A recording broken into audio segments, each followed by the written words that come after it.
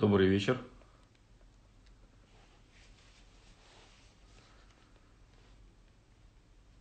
Всем добрый вечер. А, для тех, вот, для тех, кто не в курсе, я а, хочу напомнить, что у нас сегодня а, прямой эфир.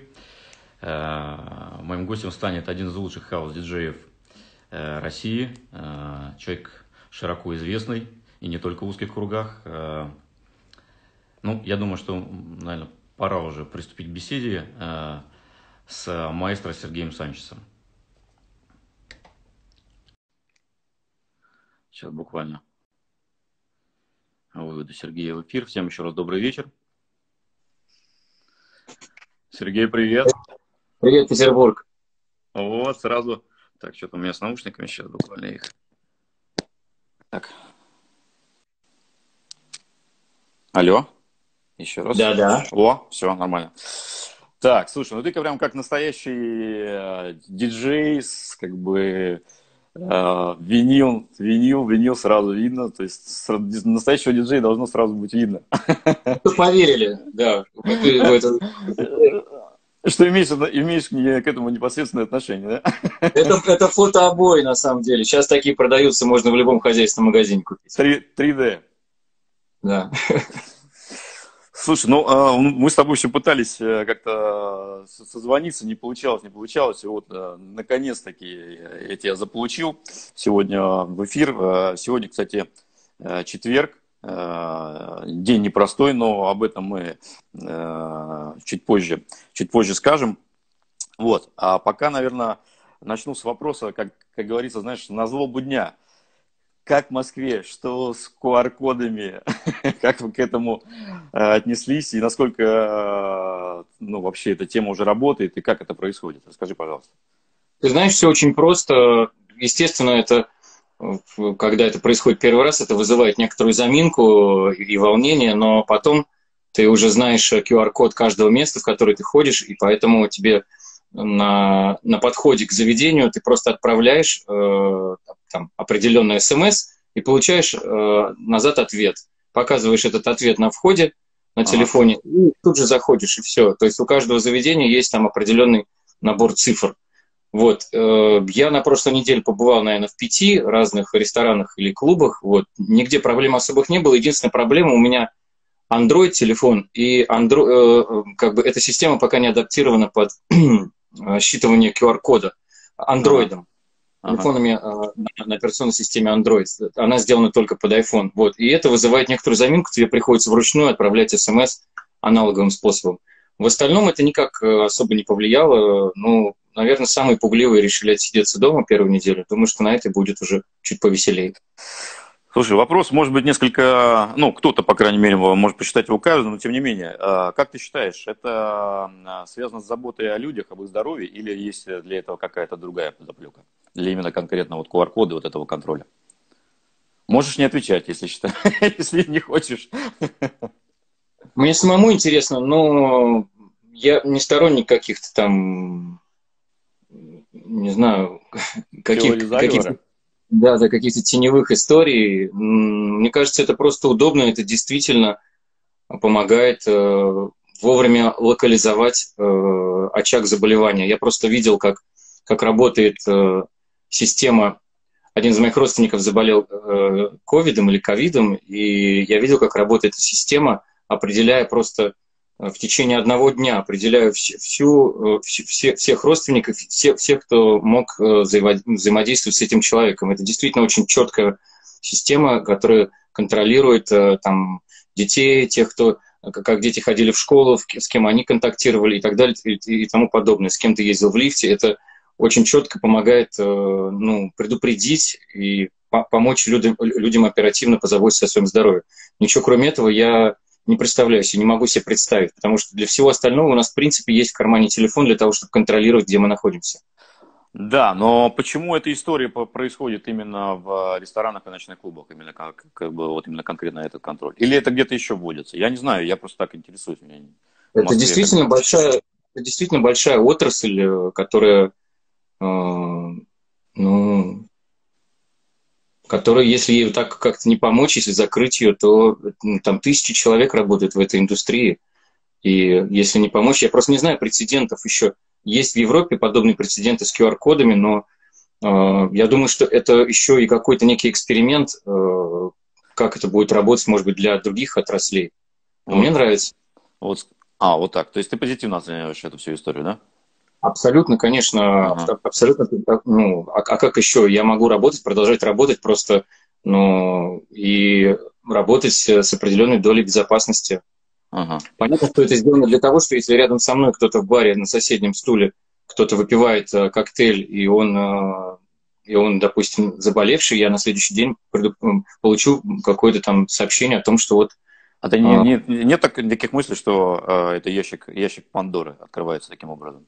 Например, ну, какой? Ну, ну вообще как, тотального контроля. Я просто как бы... Вообще я... А он, а он разве не сейчас? Про нас все знают. Любую почту можно открыть, э, любой телефон можно вскрыть. Э, все, что мы едим, все, что мы любим, все, что нас интересует, все известно. Что еще надо? Uh-huh. Что еще можно узнать с помощью QR-кода? Ну, если, если телефоны слушают нас, если телефоны видят нас, ну, что еще uh-huh. может э, все, я, еще... я понял. Как бы твою, твою позицию понял, твое отношение к этому. Мне было интересно, поэтому э, спасибо тебе за честный ответ. А, а теперь уже приступим, как, как говорится, к основной программе. Давай. Скажи, пожалуйста, вот э, с чего ты начинал? Я э, прочитал э, много информации в, тебе в интернете, и вот э, там э, есть какая-то такая история про какой-то некий чат, в котором ты что-то там э, писал и попал к э, некому диджею Кэшу. Что это такое? Расскажи. Там, ну, очень история умалчивает. Я вот что вот как вычленил информацию, вот, собственно, ее таким вот образом. Ну да. Э, тогда, в давнишние времена, в начале 90-х, еще были аналоговые телефоны, когда нужно было дозваниваться, набирая с помощью... Ну, то есть это были домашние стационарные телефоны. Надо было дозваниваться куда-то ручным способом, набирая номер снимаю трубку с аппарата, держа ее около уха, и, значит, э, что-то что набираю. Да, и да, да. как-то мы, значит, молодежь прознали то, что если очень-очень-очень много раз набрать э, номер 100, а номер 100 – это, ну, самый известный номер был в Советском Союзе, потому что когда ты звонил 100, ты, ты, тебе робот отвечал э, точное московское время, говорил. Где бы ты ни был, ты мог всегда с, с, с как это сказать, синхронизировать любые свои часы с точным московским временем, кремлевским. Вот, и ага. если много-много-много раз набирать, то какое-то реле не успевало срабатывать, и ты как бы зависал в тишине, то есть э, оказывался в неком, э, непонятно в каком-то, в первом, в первом виртуальном чате. И туда, и туда заходили еще другие люди, все знали и звонили ага. попадали в это как бы в сломанное реле, которое как бы не, не соединялось, и, или там эта катушка не начинала проигрывать это точное время или еще что-то. И мы там зависали в этой тишине, периодически слушая, как дозваниваются другие люди, и пытаясь узнать, здесь тихо, ничего не отвечает, давайте наберем еще раз. И, в общем, мы оказывались там 5-6 человек и общались таким образом, затихая только в те минуты, когда мы слышали, как раздавался щелчок, и подключался другой человек, чтобы узнать точное время. И если он э, был своим, он, значит, говорил какие-то слова, там, типа, привет, это я там. То есть, ну, мы также знакомились, как и мы не знали, кто мы такие, мы знакомились, я там из такого района, я вот увлекаюсь тем-то. Ага. И таким образом я залипал после учебы или после работы в этом чате. Иногда можно было провести весь вечер и не дозвониться. А, ну, не получалось. Я, я не знаю почему. Может быть, это был какой-то определенный лимит у этого. Может быть, просто система как бы не, не пускала. Не знаю, от чего это зависело. Это была просто удача какая-то.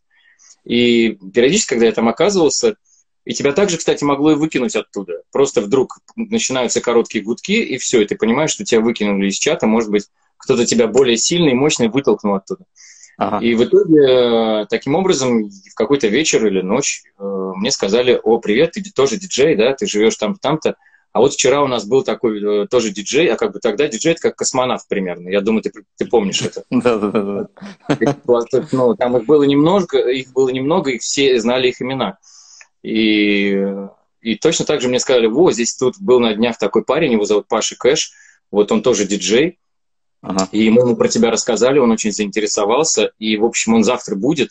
Поэтому попробуй завтра подсоединиться. Естественно, я завтра после всех каких-то занятий своих э, я стал, стал звонить, дозвонился, и мы тут же э, познакомились, и, и уже через там 15-20 минут мы встретились, стали обмениваться своими пластинками, и стали друзьями, в общем, на очень-очень много лет. Он помог мне прийти э, на первой вечеринке, он помог, пока привел меня в школу хип-хопа Влада Валова, привел на клуб Тюч и так далее и тому подобное. В общем, он, он был, так сказать, более в курсе, у него было больше друзей в этой области, и я как бы через него вошел в эту структуру и в ней остаюсь.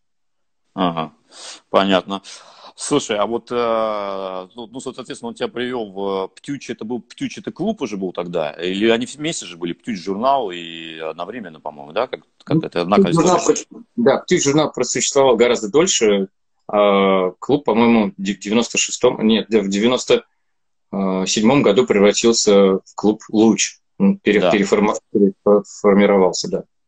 Ты, ты работал там как э, резидент или что? Или как бы, ну, какой клуб, в котором ты начал начать, ну, с, работать как резидент первый?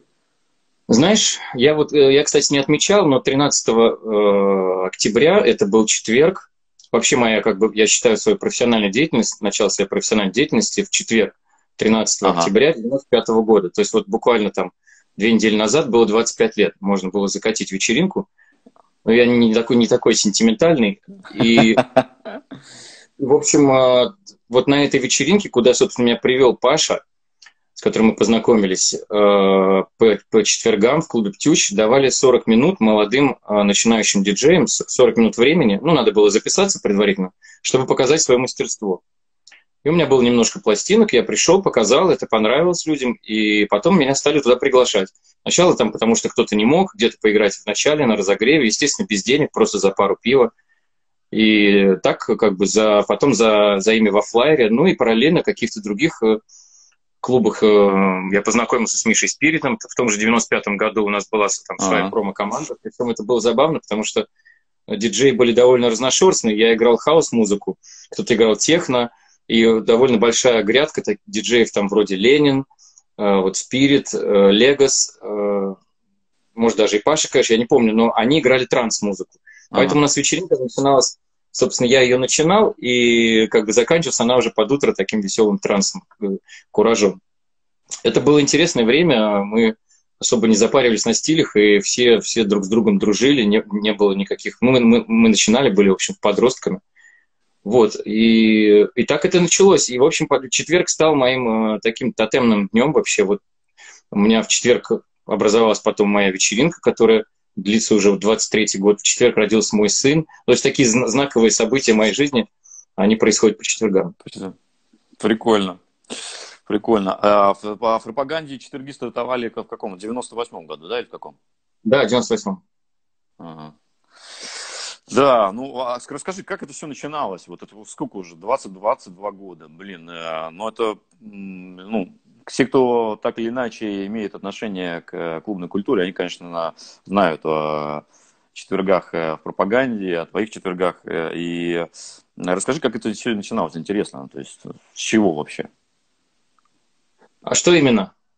Ну, вообще, вот это чтобы, как вот ты говоришь, просто отыграл вечеринку и тебе предложили резидентство, или как это, как это все закрутилось?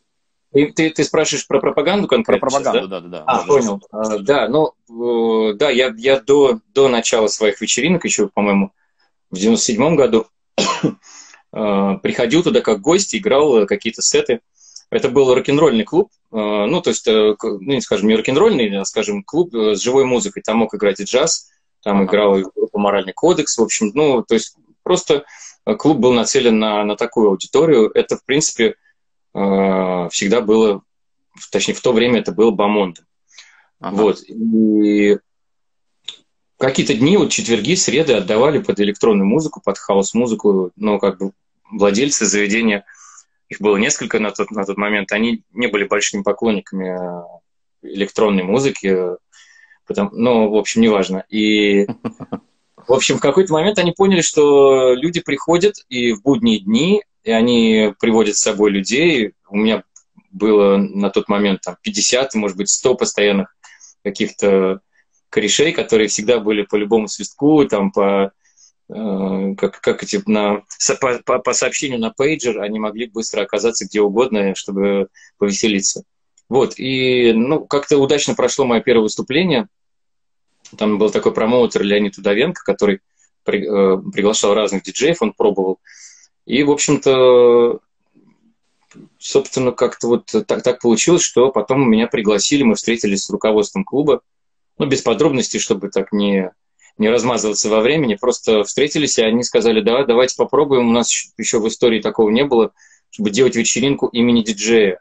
И мы, то есть мы решили так, э, таким наглыми, наглыми такими стать и так вот назваться. Я, я не был до конца уверен, хотя в тот период времени меня так, э, как сказать, я как, я как ракета, я, у меня просто ступени за ступени отваливались, потому что был 98 год, я был на, на таком большом взлете, потому что я через год после начала своей деятельности, ну, профессионально я имею в виду, конечно, mm-hmm. я до этого занимался дискотеками там у себя в районе, как-то локально, но вот именно профессионально на городском уровне, уже через год я получил там признание от журнала «Птюч», но это, конечно, было авансом, там uh-huh. «Золотой птюч», потом на следующий год еще один, и постоянно какие-то премии, признания, и, в общем, людям полюбилось то, что я делаю, и полюбилась хаос-музыка, и тот баланс между коммерческой ее стороной, совсем, скажем так, вокальным хаосом, который тоже присутствовал, и техно какой-то структурой, вот, вот, вот этот баланс им понравился, и они стали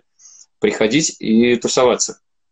Конечно, те счастливые золотые времена давно прошли, когда очереди были на 200-300 метров, э, чтобы попасть на, на вечеринку, и mm-hmm. были супер гости. Сейчас, конечно, времена не самые э, веселые, но мы с честью и достоинством через них пройдем. Да, э, так неожиданно, да, вечеринка э, длиной в 22 года. Когда я думаю, да, когда начинал, ты даже не представлял, что из этого может получиться. Столько, столько всего, то есть, когда меня спрашивают, ну, да расскажи что-нибудь там странное, смешное, необычное, криминальное или еще что-то, я просто теряюсь, потому что это, представляешь, такой объем информации, какие-то там терафакин байты просто всего, когда ты просто начинаешь смотреть, и у тебя так вот, ну, ну, сложно что-то выбрать. То есть это надо сесть, помедитировать, наверное, и написать на этот счет книгу. А, а так, конечно, это просто как какой-то, когда заходишь э, в библиотеку, да, в какую-нибудь публичную, и такой смотришь просто миллион корешков книг, и ты такой, вау, вау, здесь, наверное, про все, про все есть. И, ну, и вот у меня точно такое же ощущение, я даже боюсь смотреть в ту сторону, честно говоря. Есть что вспомнить, короче. Лучше, лучше, лучше начинать как-то, ну, не начинать, а лучше все время продюсировать себя в будущем и продолжать оставаться в хорошей форме, нежели оглядываться на какого-то там молодого человека, к которому ты уже не имеешь как, никакого отношения. Не, ну, а, мне кажется, иногда предаваться воспоминаям а, тоже наш э, такой Это момент. По, померить погоны, Изредка. китель, А? А? Померить Что? Э, китель с погонами, там, э, ну, типа, подержать в руках вот это там награды. Да, да, да, да. Да, кстати, про награды. Расскажи, пожалуйста, по поводу... Так, что-то ты меня подзавис немножко. Алло. Да-да, я тебя отлично вижу и слышу.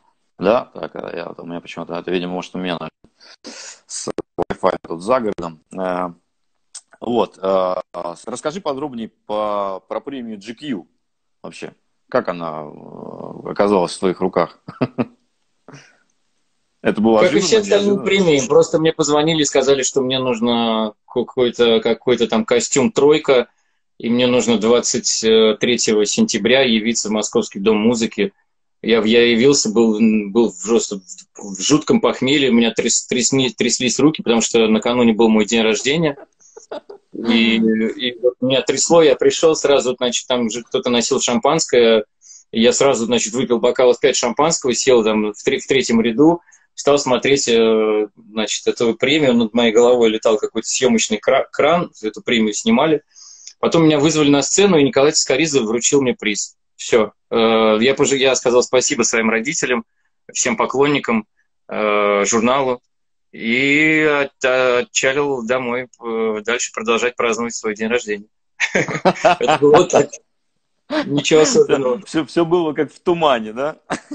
Ну, примерно, да, да. Это, ну, это, это было так забавно, да.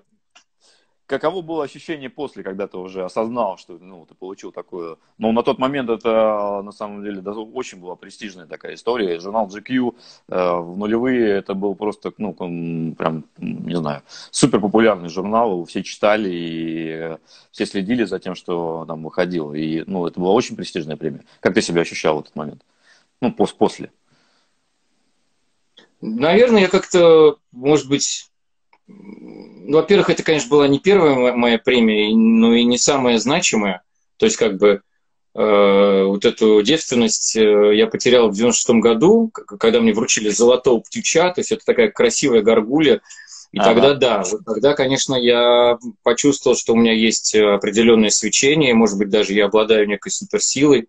Ну, то есть это был такой э, а, аванс. А с, с, с, премией, с премией GQ ну, это просто было типа вау, и ну как бы и все.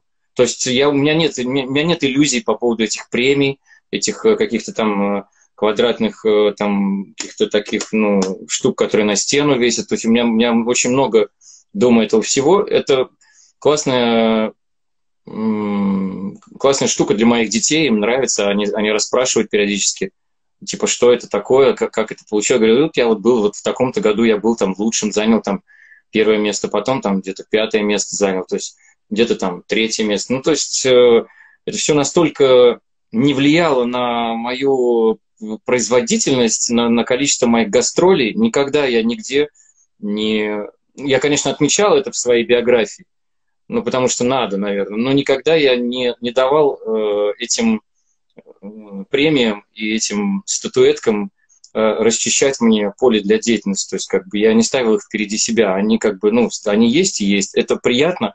Это, я действительно много работал, это заслуженно. Потому что я очень-очень-очень старался. И, и никогда не халтурил. У меня хорошая репутация в этом бизнесе уже 25 лет. Ну, не кристальная, но, но хорошая. И есть, конечно, и на солнце пятна. Вот, и я считаю, что, ну, от, ну, как бы хорошая тема, ну, заслужил. Этих статуэток много у кого э, стоит на полках. И приятно было, что эту индустрию, что нас замечают, что мы как бы не просто какие-то там ну, то есть мы, мы, не имеем, мы не имеем отношения к какому-то криминалу, как это всегда там раньше считалось, что там диджеи, наркоманы и прочее. Мы действительно взрослые люди, мы, мы музыканты, мы творческие единицы. Ну, очень жаль, что сейчас э, этот рынок и этот бизнес, он находится в, ну, просто в ужасном состоянии. Мы вернулись куда-то очень обратно в 90-е. Я хотел вот этот э, вопрос задать тебе в конце, но раз уж мы эту тему затронули сейчас, то да, э, э наверное, Твое мнение вообще, что, что происходит сейчас и куда это все движется, что, что важнее даже? Да, вот как, как ты себе видишь вообще ближайшее будущее э, электронной музыки в России и вообще в мире? Я думаю, нет, в мире все в порядке. Сейчас, э, когда мы закончим с этим ковидом, все вновь будет великолепно. То есть ты считаешь, что, хотят... в мире, ты считаешь, что в мире э, все придет э, обратно на круги своя, все вернется, ничего не, ничего не поменяется? Конечно, Это... конечно. Смотри, какие выпустили Денон и Пионер. А, они, а я думаю, а, а эти, а эти люди, Явно, что они знают, они, они диктуют, они изобрели, японцы вообще изобрели всем все эти музыкальные инструменты, благодаря которым мы танцуем, все эти Роланды и, и, и Ямахи, все, все, весь этот звук, весь этот кипиш, все благодаря им.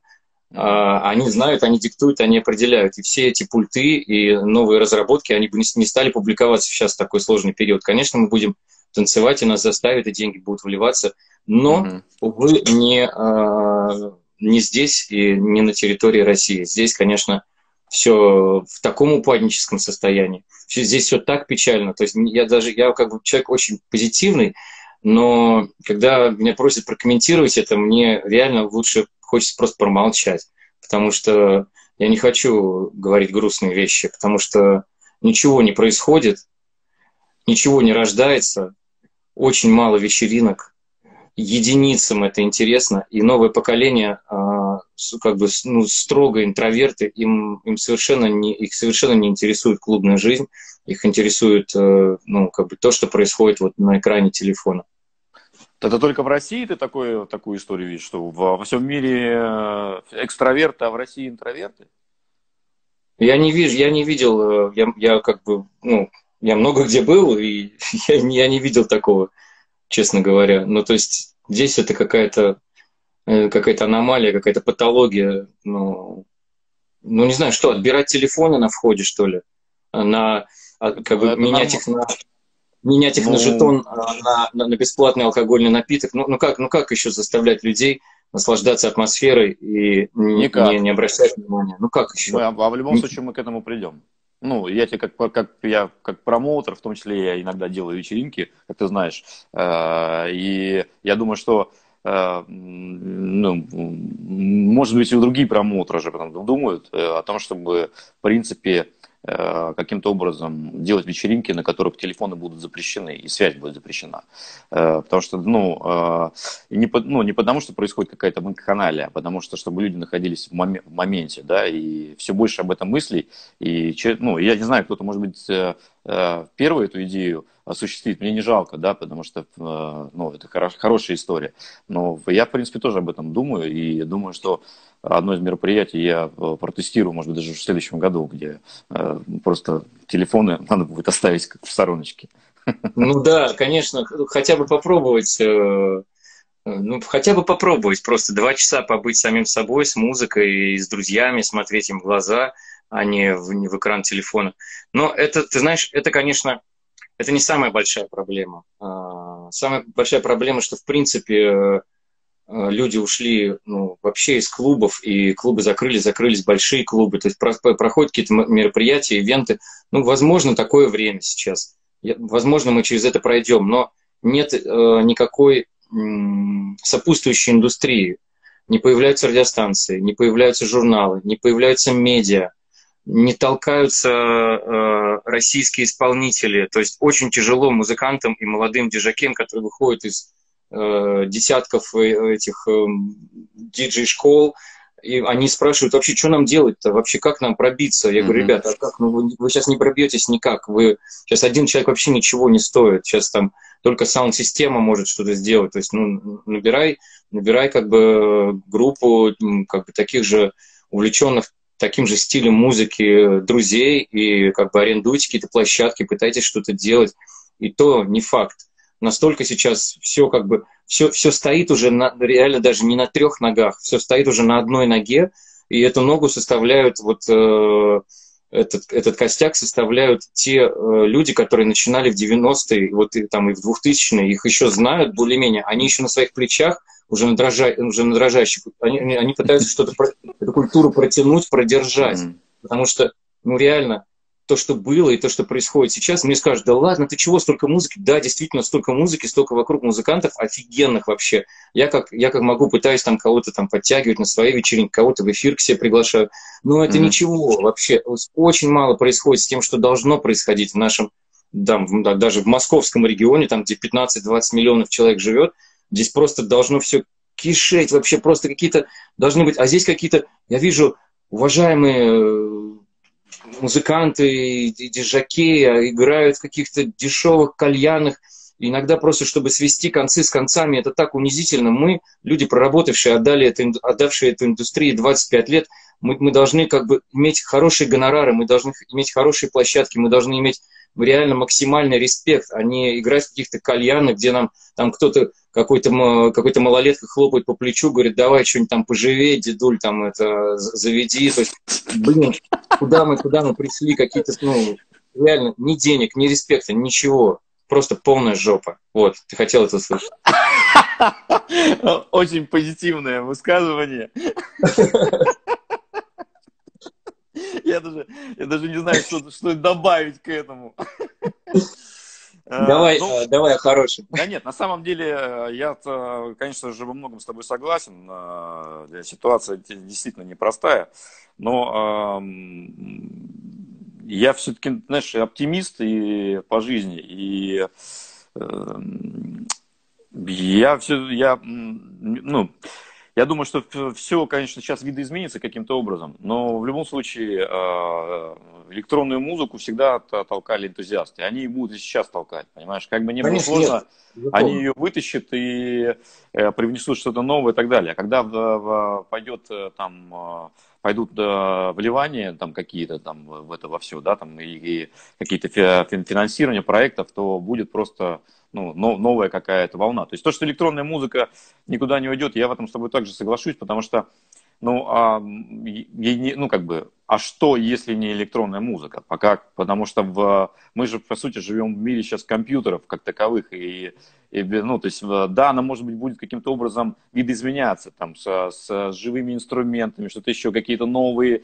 может быть, ну, что-то новое произойдет, какие-то, ну, звучания. Мы не, мы не знаем, да, что нам принесет, там, 21 год, например, 20 мы, э, еще два месяца надо нам э, Как шутят, что мы начнем, что мы начнем э, после после масок мы начнем носить памперсы или что-то такое там. Будем ходить памперсы. А в масках было ничего. В 21-м. Да нет, по, по всем ожиданиям, по всем прогнозам, вроде как 21-й. Ну, по крайней мере, он не будет таким, конечно, кардинальным. Ожидать по крайней мере, он не будет високосным. Да, он будет год более спокойным. Э, я, я думаю, что э, я, в общем, на позитиве, э, чтобы немножко как сказать, э, волну позитива впустить в, экран, как бы после твоего... Да, нет, конечно, Леш, Леш, я, я, извини, я просто, я просто представил совсем мрачную картину, конечно, все хорошо, и мы с тобой в отличной форме, и мои коллеги, все друзья, не, они не, не, не в растерянности. Конечно, сейчас тяжело, работы немного, очень мало работает заведений, но мы как бы мы делаем вечеринки, мы планируем, и и как бы я, я думаю, что все будет хорошо, конечно, по крайней мере, в крупных городах, но в целом, по сравнению с тем, что было, вот как бы, как бы какие, как ты спросил, там, какие прогнозы и вообще какая ситуация, mm-hmm. ну, как бы ничего веселого нет, но мы будем оставаться на связи. Петербург. Но у нас хотя бы еще, знаешь, э, в России какие-то мероприятия сейчас проходили, там, ну, э, худо-бедно, э, летом, там, я знаю, что, я общаюсь, у меня много иностранных там, друзей-диджеев, и они сидят вообще, без даже без каких-то минимальных подработок, да, там может быть у кого-то где-то какой-то государственные выплаты, что-то еще, но в целом итальянцы там, а, где-то там немцы и многие другие, они сидят вообще вот с, а, там, с февраля, с марта месяца, как бы только на каких-то других историях. Они мечтают просто поиграть для людей. Ты представляешь, что такое поиграть для людей? Они пишут да. просто, как, как я мечтаю, просто они выкладывают фотографии, где они стоят, играют, вокруг них танцуют люди. И они такие, как я, как, как я скучаю по этому всему. И, то есть я, я представляю, как, как сердце сжимается. Да. Когда, когда мы три месяца не играли, да или даже сколько там, пять, что ли, когда это был большой перерыв. И да. это было, это было что-то, мне просто, просто хотелось поиграть, ну, то есть для людей это, это было, ну, блин, это была очень странная ситуация. Давай, короче, на позитивное. Что там у тебя еще есть Да-да-да-да. Эм, так, хотел пошутить по этому поводу. Ну ладно. Э, ну ладно, пошучу все-таки. Этот, э, у одного из э, э, диджеев немцев какая-то картинка, знаешь, типа как это вот про планы на будущее. Какие у вас планы на будущее? Он говорит, отыграть, отыграть сет. А какие у вас, ну да, на какие у вас планы на, на, на длительное будущее? Отыграть, отыграть два сета. Да. Поэтому, ну, мы хоть, мы хоть как-то играем, да, хоть с QR-кодами. Вы в Москве, у вас, у нас тут до, до 23.00. Э, вот сейчас вот Хэллоуин, э, насколько я понимаю, я на этом, на этом уикенде отдыхаю, но я знаю, что проходит э, мероприятие в Петербурге, и вот у нас до 23.00. Да, дневные пати, это вообще, это выход, да. и это, это супер тема. Надо делать, ну, как бы, ну, почему? Начинать просто в 6 вечера, да? Ну, там, 5-6 вечера да, начинать. Да, как Классно, так, да. и это полноценная вечеринка, и в 11 на метро домой. Да, успеваем. А, слушай, скажи, пожалуйста, а ты по позитивному. Ты на фортепиано играешь? Ты, ну, вроде написано, что ты умеешь на фортепиано пианино играть. Я, я занимался в детстве фортепиано, несколько классов э, закончил. Сейчас у меня ага. занимаются дети, вот, им очень нравится. Я, конечно, уже мало чего помню из этого. Так, хорошо. А вот тогда такой факт, как э, в твоей биографии, я не знаю, на, на, насколько это, что ты пишешь музыку к кинофильмам. Это действительно так? Или... Да, у меня был такой прецедент. Да, и э, это невероятно круто увидеть э, себя в титрах. Композитор Сергей Санчес. Это, классно. Ну, то есть, да, я, правда, это был короткометражный фильм. Он там длится всего около 30 минут. Вот, это было лет пять назад, но это, это был очень интересный опыт. Э, именно у меня просто никогда этого не было, и это очень... Э, меня впечатлило это тем, что как, как, э, насколько вообще музыка имеет глубокое влияние на происходящее вообще на экране. То есть я сидел, когда работал там над, над одной сценой, и у меня, мне просто, у меня была такая такой, ну, нужно было найти определенный фортепианный проигрыш, который бы характеризовал вот эту сцену. И, значит, mm. я, я, я проигрывал определенным образом, пытаясь э, почувствовать ритм э, как происходящего на, на экране. Проигрывал, mm. ну, как бы в таком лупе все время подбирал, что-то подбирал, там, 3-4 ноты какие-то, там, их э, длительность их воспроизведения. И периодически записывал и отправлял э, режиссеру. И он говорил, Сереж, он мне поставил сложную задачу, он мне говорил, Сереж, мне надо сделать так, чтобы я все время там, у меня получалось так, что вот как бы все будет хорошо там дальше, там, или как бы, чтобы, или там наоборот как-то слишком драматично. А он мне говорил, ты мне вот сделай, сделай, озвучь эту э, сцену так, чтобы было вообще непонятно, что дальше будет. И мне так стало, мне стало вообще втройне, ага. вчетверне интересно, думаю, вау. То есть ага. надо создать, надо создать э, даже не ожидание, а надо создать непонимание, как бы, то есть вот как бы что вот встречаются два человека, что будет, как, как у них будет там дальше все, все развиваться, это где-то в центре, в центре кинофильма. И тогда я столкнулся, конечно, с магией сочетания. Ну, вот я думаю, что когда ты разговаривал там с Женей Грум, у него огромный опыт э, музыки для кинофильмов, для больших фильмов, для блокбастеров. Я работал просто с э, независимым кино, но это меня поразило. Это, возможно, это даже то, чем я бы хотел заниматься вообще в жизни. Потому что это вообще мощнейшая магия. Ну, конечно, ага. Э, делать, делать людей счастливыми тоже мне очень-очень нравится, и у меня хорошо получается.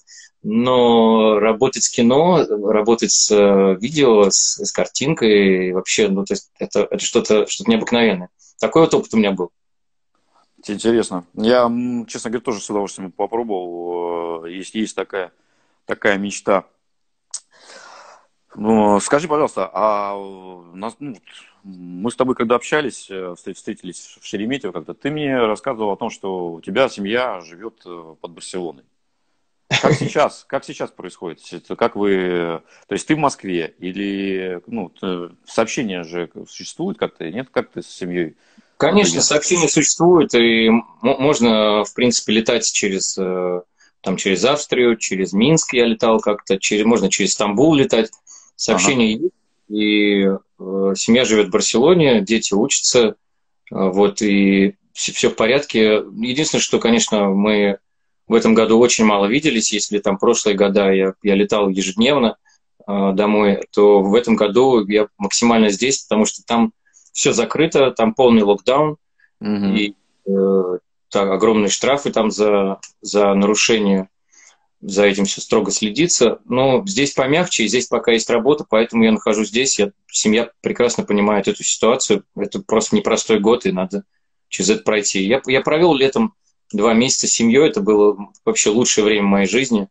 Mm-hmm. Когда 20, 24 на 7 э, я с детьми и с женой, и вообще это было великолепно. Потому что в основном, конечно, я прилетаю, улетаю, и так видимся не, не очень много. А вообще ты родился э, где, в каком городе? В Москве. В Москве, да? А как, как тебя с, ну, с Испанией, какие тебя связывают? Э, ну, что тебя связывает с Испанией, кроме фамилии?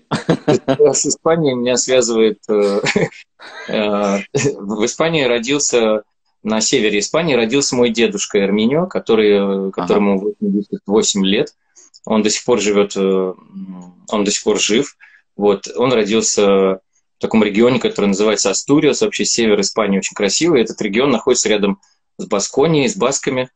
вот прям, прям рядышком. Вот. И, собственно, во время э, фашизма, когда в Испании был режим Франка, вот советское правительство эвакуировало детей коммунистов. Мой дедушка вот, был в числе их, его посадили на пароход и отправили в Ленинград в, и распределили всех этих детишек испанских, распределили по детским домам в Советском Союзе.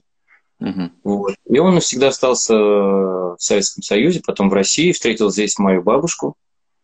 Вот. И, собственно, а, потом испанское правительство а, позволило детям этих э, детей войны и их внукам по желанию вернуться на родину, а также получить испанское гражданство. Собственно, чем я и воспользовался, получив э, гражданство. Mm. Интересно. Скажи, пожалуйста, а вот э, ты же все, все время занимался хаос-музыкой, то есть именно, ну, то есть ты же хаос, ты считаешь себя хаос-диджеем? Да, конечно. Ну, наверное, 80%, э, на 80% хаос, э, на 15% драм бейс и еще 5% там трип-хоп, всякая электроника и прочее. Ага. А как при, менялся твой вкус вот, ну, за, все, за эти годы? Как-то вот, ну, расскажи, потому что наверняка он менялся, да сколько уже, почти 25 лет, и, э, ну, наверняка же это э, ну, наверняка же это была какая-то трансформация, что-то на тебя влияло. Постоянно меняется вообще каждый, каждый день. Каждый, каждый подход э, к компьютеру и надевание наушников на голову и поиск новой музыки в интернете – он все время приводит к каким-то новым результатам, новым ощущениям. Я настолько нестабильный в этом смысле, что мне всегда нужно, чтобы у меня что-то новое торкало. И mm-hmm. я все время ищу как бы вот что-то такого, ищу что-то такого. Поэтому э, я часто сталкиваюсь с, с разочарованием от э, публики э, из-за того, что они не знают, чего от меня ожидать. То есть я могу, я могу отыграть сет в том ключе, что им нравится, а может mm-hmm. быть, в том, то есть, понимаешь, иногда даже ползала просто бывает уходит, потому что, а, ну понятно, он сегодня будет играть melodic, пошли отсюда. Э, ну, как бы, то есть я сам не знаю, что я буду играть до последнего момента. У меня есть, э, как бы, заряжено несколько ружей в таком ключе, в таком, как бы, как я чувствую себя пространство, точнее, как я чувствую себя и как я чувствую пространство, так вот я и хочу поиграть. То есть я, наверное, это такая моя странная особенность, я не могу себя законсервировать в одном стиле никак вообще. И вот и так, в принципе, было всю жизнь. И я э, прекрасно себя чувствовал с дипхаусом э, в маленьких клубах на 200-300 человек. И я прекрасно чувствовал себя, открываю там фестиваль Казантип, когда там передо мной 30 тысяч человек. И там, открывая его после там речи Никиты Маршунка, после речи президента, как бы вставая, играя там час, после, после меня там Тима Маас, например, играет.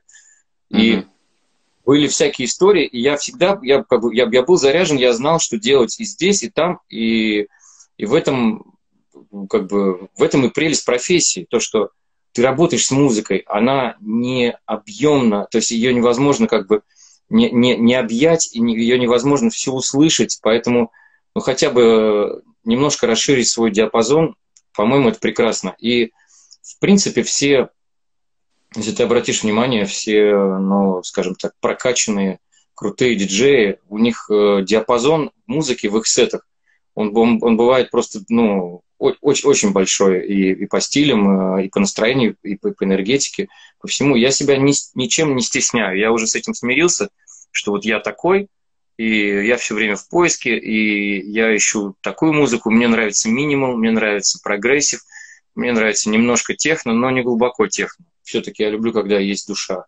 Угу. Мне нравится drum n bass, я играю классный drum n bass, у меня были офигенные вечеринки, и как бы я реализовываю себя в музыке максимально, то есть туда, куда меня зовет сердце, туда я и направляюсь. Ну да, этим, мне кажется, и отличаются э, именно диджеи от э, продюсеров часто, и, э, ну, именно вот прям, если прям четко по, по категориям, да, есть люди, которые объединяют в себе все, да, они и диджеи прекрасные, и музыканты и так далее. Но вот если э, говорить, да, то э, музыканты и продюсеры часто ограничены какой-то определенной э, стилистикой, то есть на диджей именно в понимании именно диджей, он как раз многогранен, ну, по сути, он многогранен, так, так или иначе. Ну, вот, вот если говорить о диджеях крутых диджеев, которых наверняка ты, ну, э, у тебя есть какие-то фамилии, там, имена, в твоем понимании, они, скорее всего, все, все очень шир, имеют широкий диапазон. То есть это в этом конечно, отличие конечно. настоящего диджея. А, скажи, пожалуйста, как ты ищешь музыку в вот этот затронут момент, э, что как вот любопытно, потому что, ну, может быть, кто-то вот тоже, знаешь, нас смотрит и думает о том, как, как вот искать музыку вот, э, в просторах интернета. Ты как ищешь? Ну, есть очень много сайтов, я не буду сейчас их все перечислять. Э, просто сижу, тупо и слушаю, стараюсь посвящать каждый день от часа до двух этому, этому моменту. Потому что mm-hmm. больше двух часов уже начинается как бы механика такая, ну, в перечислении. То есть я иногда, знаешь, как это, это как когда ты книгу читаешь и можешь несколько страниц пролистать, не, не, не поняв, о чем ты. Да, да, да. Угу. Да, типа, а что сейчас было, и возвращаешься назад. И бывает так же, просто автоматически слушаешь, слушаешь, слушаешь, и, и думаешь, так, что ты там послушал? Хотя есть такая тема, я, я все время вспоминаю, э, как ребята из э, Comedy Club э, рассказывали про то, как они Э, показывали шутки, демонстрировали шутки э, Гарику Мартиросяну, который обычно в офисе сидит за, сидел за компьютером и просто сидел, и просто сидел в интернете и, и краем уха слушал. То есть э, действительно что-то смешное и, или там действительно классный трек, ты мимо него все равно не пройдешь. То есть они, они что-то, какие-то шутки разрабатывали, что-то ему показывали, и он ага. как бы, что-то действительно смешное, он хихикал. То есть, как бы находясь даже где-то от, как бы отвлеченно, у него как бы возникала какая-то типа, ха, классно, что это такое было сейчас? То есть ты все ага, равно... Цепляет, цепляет. Да, да, да, тебя должно что-то зацепить. И, то, и, то, и точно так же ты иногда слушаешь, слушаешь, э, фигня, фигня, фигня, фигня, не, думаю, не мое, не мое, не мое. И, и просто вдруг чих, о, а это что такое? И ну, как бы разбираешь, смотришь трек, трек поподробнее, что это такое, как подходит, не подходит, тебе кладешь в корзину. Uh-huh.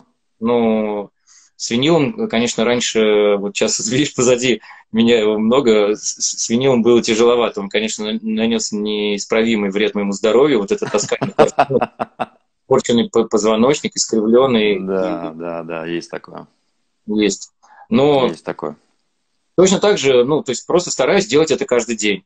Э, иногда приходится, некоторые дни приходится э, уделять, э, собственно, каким-то архивам, покопаться, что-то поискать в каких-то прошлых годах, там перебрать что-то, освежить, может быть, что-то что вытащить какие-то, что-то для папки боевиков или, или для папки секретного оружия вытащить какие-то там старые забытые э, треки. Ну, в общем, такая рутинка приятная.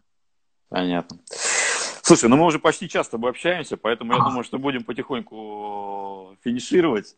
Давай, давай. Оставим, оставим еще на, на, на, на следующий раз.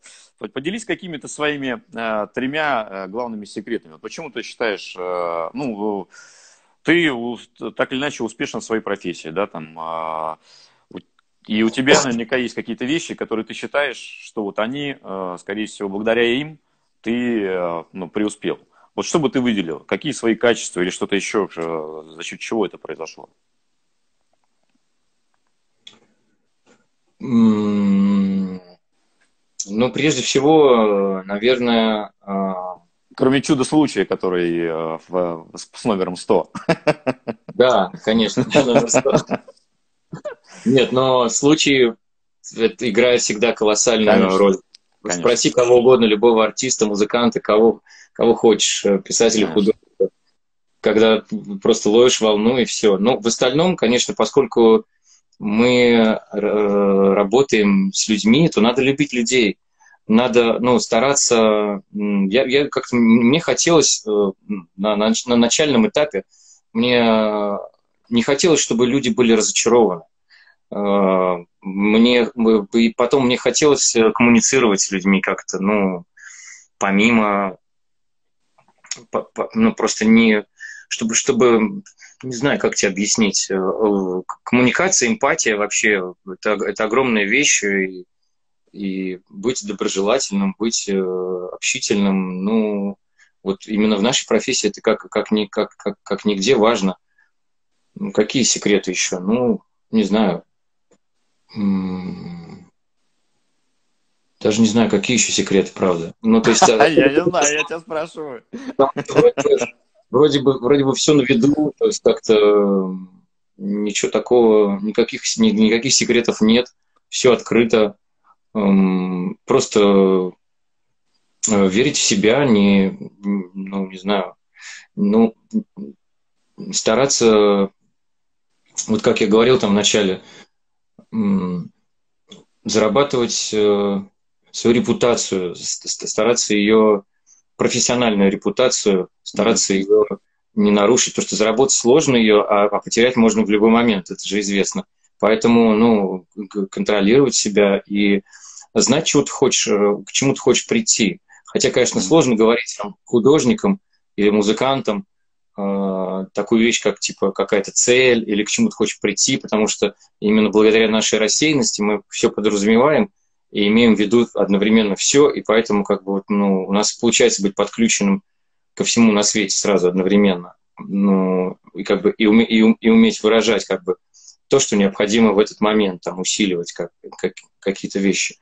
Mm-hmm. Ну, секретов, секретов никаких нет, просто трудолюбие, коммуникабельность и любить людей, наверное. То есть вот любить музыку, любить профессию, искренне любить музыку. Слушай, э, да, ну, очень классный эфир, на мой взгляд, очень интересный, но мне, по крайней мере, точно. И, наверное, последний вопрос на сегодня, который Давай. я не могу тебе не, не задать. Оказавшись э, перед Карлом Коксом, что ты его спросишь? Я ему скажу, какой ты большой.